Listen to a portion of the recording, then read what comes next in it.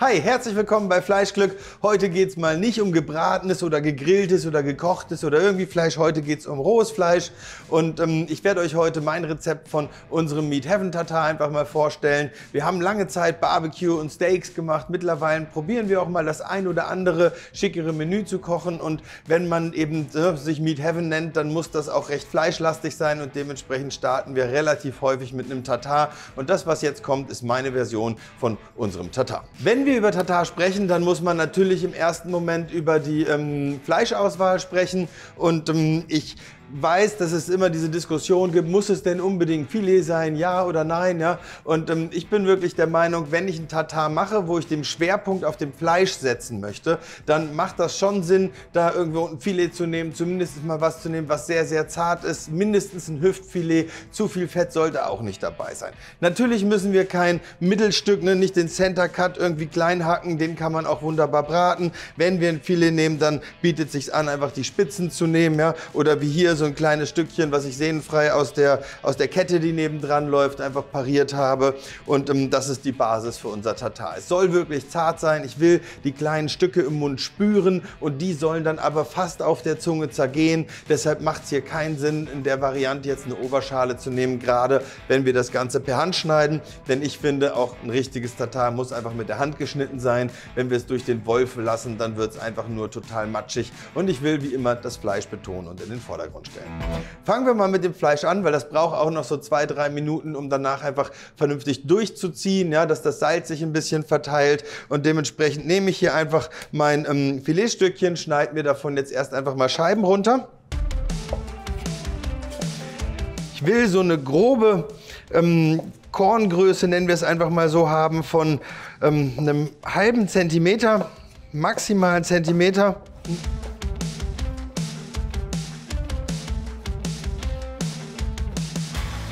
Jetzt habe ich so dünne Scheiben draus gemacht. Jetzt lege ich mir die Scheiben, das muss jetzt nicht super genau sein, ja, aber ich lege die Scheiben alle einigermaßen aufeinander und ähm, dann habe ich eben die Scheiben hier vor mir liegen. Und jetzt schneide ich aus den Scheiben erst einmal Streifen.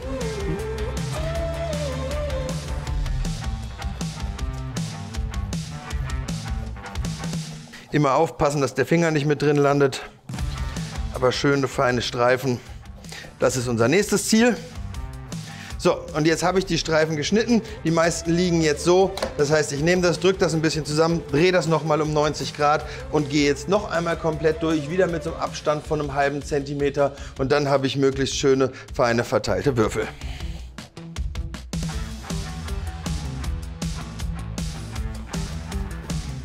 So, Einmal grob durchgehackt, nochmal schauen, dass wir nichts übersehen haben. Aber ihr seht schon, ne, das ist so relativ gleichmäßig von der Größe her. Wir haben jetzt nicht super feines, aber auch keine wirklich groben Brocken mehr drin. Ja, da ist ein bisschen Fett drin. Tatar darf eigentlich nur, ich glaube, 5 oder 7 Prozent Fett ähm, beinhalten. Das hier ist ein Restfilet von einer alten spanischen Kuh wieder gewesen. Und ähm, dementsprechend haben wir dann noch ein bisschen Fett mit drin, aber keine Sehnen. Ich finde es ganz wichtig, dass wir wirklich alle Sehnen vorher ganz sauber rausparieren. Wir nehmen jetzt unser frisch geschnittenes Fleisch, geben das einfach hier in eine Schale hinein. Kratze noch einmal das Brettchen grob ab. Das können wir alles mitnehmen. Und jetzt fangen wir an, das erste Mal zu salzen. Wir müssen auf jeden Fall in zwei oder in drei Etappen salzen. Es dauert ein bisschen, bis das Fleisch das Salz wieder aufgenommen haben. Wenn ich jetzt nur das Salz dazugebe und ähm, nach dem Salz zugeben direkt umrühre und dann probiere, dann kommt es mir sehr salzig vor. Wenn ich es dann eine halbe Stunde stehen lasse, ist das Salz eingezogen und dementsprechend salze ich lieber zweimal oder dreimal. Aber ein bisschen Salz drauf, bisschen grober Pfeffer und ein Schuss Olivenöl.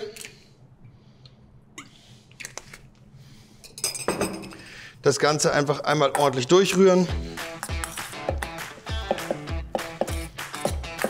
Nach dem ersten Mal Salz geben wir jetzt noch ein zweites Mal ein bisschen Salz rein. Wie gesagt, lieber in Etappen, sonst hat man auch schnell überwürzte Stellen. Ja? Ähm, zweimal Salz dazu, danach ist das eigentlich schon fertig. Viel mehr passiert mit dem Fleisch jetzt gar nicht. Wie gesagt, soll sehr puristisch sein, den Fleischgeschmack in den Vordergrund stellen. Ähm, zum Ziehen lassen stellen wir das Ganze jetzt aber trotzdem noch mal kalt. Wenn ich wirklich große Mengen mache, dann setze ich mir auch ein Eisbad und schneide das in ein Eisbad rein, damit wir einfach mit der Temperatur immer unten und immer im, im sicheren Bereich Bereich bleiben. Ja? Jetzt hier für das Video bei der kleinen Menge brauche ich da kein Eisbad zu machen. Ich nehme das einfach und stelle es nochmal in den Kühlschrank.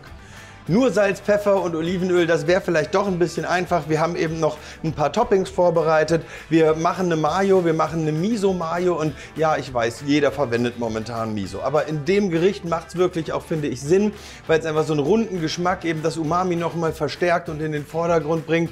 Und es ist ein Trendding und ich glaube aber, dass es ein Trend ist, der sich einfach durchsetzen wird, weil es schlichtweg lecker ist. Wir nehmen eine Schüssel. Wir nehmen ein bisschen Mayo. Wie gesagt, wenn ich ganz klassisch kochen will, dann ähm, mache ich die auch mal frisch und selbst. Aber in dem Fall haben wir jetzt einfach eine gute fertige Mayonnaise genommen. Zu der Mayonnaise kommt ein kleines bisschen von der Misopaste. Hm, das hier ist eine braune Misopaste. Die hat ordentlich Geschmack. Nicht zu viel, man kann da auch schnell zu viel dran haben. Ja? So, ich sag mal, auf so eine Menge Mayonnaise vielleicht so einen kleinen, eine kleine Fingerkuppe voll. Spritzer Zitronensaft, ganz bisschen Pfeffer, vielleicht noch so ein Mühsalz und dann einfach ordentlich umrühren. Mit brauner Miso geht die Farbe auch so ein bisschen natürlich ins Braune über. Man kann auch gerne eine helle Miso verwenden. Ja. Ähm, wie gesagt, da ist der Kreativität mal wieder keine Grenze gesetzt.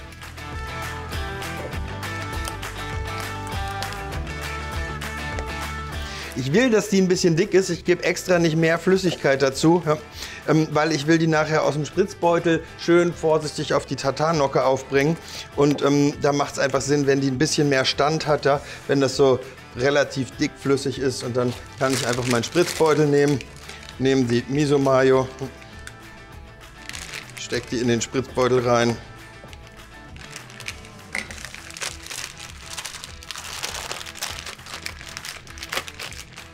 Den Spritzbeutel, den kann man dann gut über so eine Tischkante ziehen.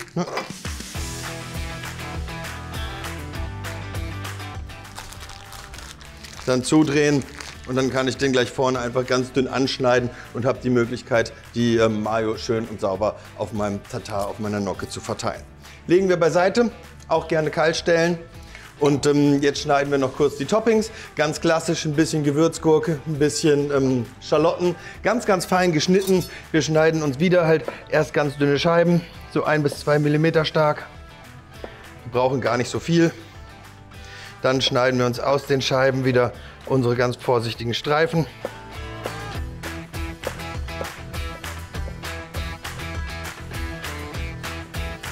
Das ist schon too much nur eine kleine Ecke.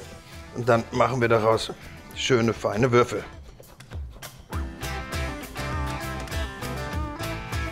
So, wenn da noch große Stückchen drin sind, die ich nicht erwischt habe als kleine Würfel, dann nehme ich die schon mal auf die Seite. Man kann auch hergehen und einfach noch mal einmal durchhaken, ja, damit man sicher ist, dass wir wirklich eine fast einheitliche Korngröße wieder haben. Von der Korngröße her gehe ich bei, dem, bei den Zwiebeln und ähm, bei, bei den Gurken schon noch ein bisschen kleiner. Ich würde eher so 2 mm Kantenlänge anstreben. Ich meine, ganz genau ist das nicht, na klar. Ne?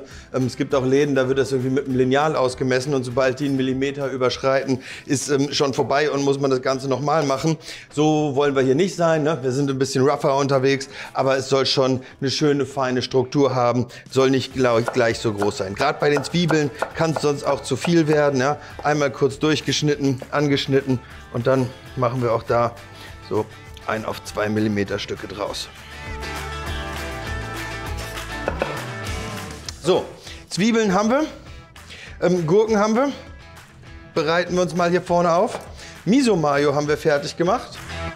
Ganz klassisch gehören auch Kapern mit zu einem Tatar. Und ähm, wir haben hier einfach so eine schöne dicke Kaper genommen. Die haben wir ein bisschen austrocknen lassen und die standen jetzt vor allen Dingen hier noch so ein bisschen auf der warmen Platte rum. Ja? Nehmt die, lasst die abtropfen, legt die auf ein Tuch. Wenn wir eine Kaper ausfrittieren wollen, ist es besser, wenn die Kaper so trocken ist wie nur irgendwie möglich. Ich habe jetzt hier ein Öl, ganz normales Öl, ne, irgendwas hoch erhitzbares, wahrscheinlich Sonnenblumenöl oder sowas und messe hier mal die Temperatur und so eine Anfangstemperatur zum Frittieren von 150, 160 Grad ist super. Wir wollen das Öl nicht auf 200 Grad haben. Wenn wir so filigrane Sachen frittieren, dann ähm, verbrennt das bei 200 Grad relativ schnell. Maillard-Reaktion, die Röstreaktion, da wo es braun wird, die läuft bei 140, 150 Grad gut ab. Solange ich viel Wasser da drin habe, passiert nicht viel. Jetzt wird, wenn ich die Kapern in das Fett schmeiße, erstmal die Temperatur absacken. Es wird dolle schäumen, aber irgendwann kommt die Temperatur Temperatur wieder nach oben und äh, den Punkt gucken wir uns dann gleich nochmal an. Wir wollen eine schön ausfrittierte Kaper haben, die wir als salzigen Spot dann am Ende noch oben auf das Tatar draufsetzen können. Wir nehmen die einfach, schmeißen die da rein ja, und schon geht das los. Es fängt an zu blubbern. Ja. Die gehen so ein bisschen auf. Und jetzt nochmal ein kleiner Trick beim Frittieren. Ne? Durch die Kapern, da ist ja Wasser drin. Das Wasser verdampft das verbraucht Energie. Also wird die Temperatur im Öl jetzt erst einmal wieder fallen. Ja? Wir hatten eben 155 Grad, als wir angefangen haben. Jetzt messe ich hier nur noch so 140 Grad. Und die Temperatur, die sollten wir möglichst lange halten. Wenn ihr bei 160 und mehr seid, dann verbrennt euch das relativ schnell. Wir wollen langsam die Feuchtigkeit aus den Kapern ausfrittieren. Ähm, dann platzen sie auf. Man muss ein bisschen aufpassen. Ihr merkt schon, ich stocke ein bisschen beim Reden. Ja? Da ist viel Essig drin in den Kapern. Der verdunstet natürlich als erstes. Und wenn man seine Schnute da direkt rüber hält, dann atmet man die ganze Zeit diese Essigdämpfe ein. Da kann man ein bisschen vorsichtig sein. Ne? Ansonsten frittieren wir das aus. Das dauert schon so, ich sag mal, zwei, drei Minuten, bis es wirklich nicht mehr dolle blubbert. Solange das blubbert, haben wir noch viel Wasser drin. Erst wenn das Blubbern überhaupt aufhört, können wir langsam drüber nachdenken, dass die Kaper fertig frittiert ist. Wir nehmen uns dazu auch wieder hier ne, irgendwie was zum Unterlegen, ein Tuch, was trocken ist. Da kann, können wir die Kapern drauflegen, dann kann das Fett und das Öl bzw. wieder schön rauslaufen. Wenn wir wieder die Ausgangstemperatur von so 155 Grad erreicht haben, ne, ihr seht, jetzt sind wir runter auf, ähm, auf 130, 135, dann ähm, haben wir auch das Wasser verbraucht, was da drin ist und dann ist die Kaper fertig frittiert.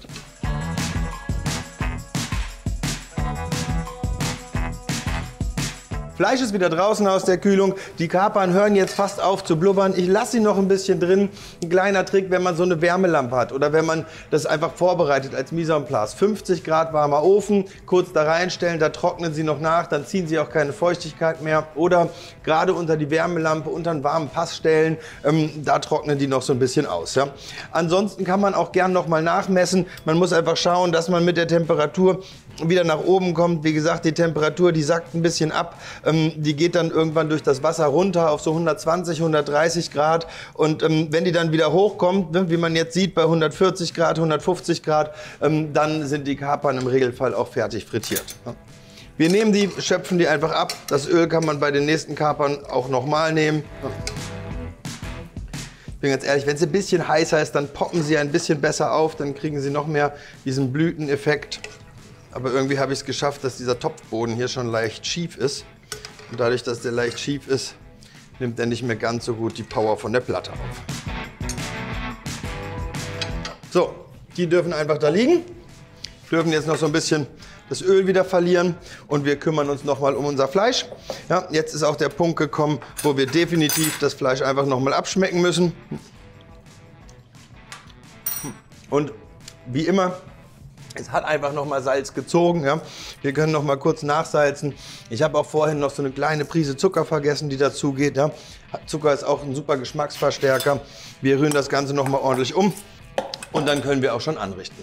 Entweder wir machen so kleine schöne Nocken da draus oder wir ne, nehmen uns halt einen, ähm, so einen Servierring und machen irgendwie den Kapernberg. Man kann auch das Ganze einfach ein bisschen rustikal machen und einfach die Kapern auf den, oder beziehungsweise das Tatar als Berg auf den Teller legen. Aber ich probiere mich noch mal an so einer Nocke heute. Wir nehmen einfach zwei Löffel. Wenn man so viel nimmt, wie man auf zwei Löffel gerade mal drauf bekommt, dann ist man bei so ungefähr ähm, 50 Gramm über den Daumen. Das hat die Erfahrung gezeigt. Ja.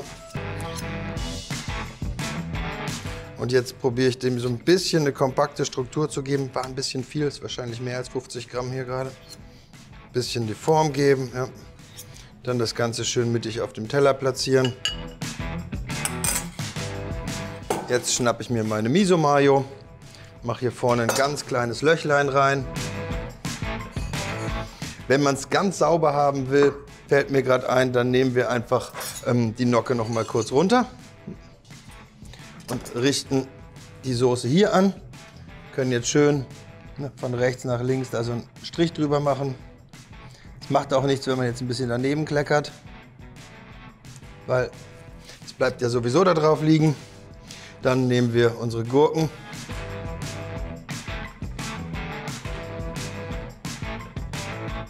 Dann noch die paar Zwiebeln dazu. Dann können wir das Teil nehmen.